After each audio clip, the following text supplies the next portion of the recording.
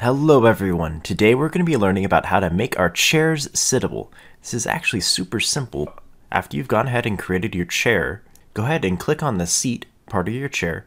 We need to add a new type of part. Click the plus button on the part in the Explorer tab, and then scroll down until you find the interaction section. Select seat, and it'll create a new part. Now this part is special. This part causes the player sit down on top of it.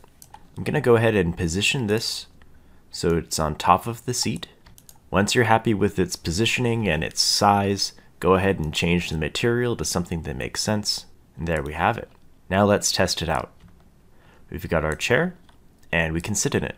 I'm going to go over to my stool and do the same thing. I'm, I'm going to click on the plus button. I'm going to search for seat. There it is. Then I'm going to position it on top of the stool. And there we have it. We have two working chairs. Let's see what you can build in Roblox Studio.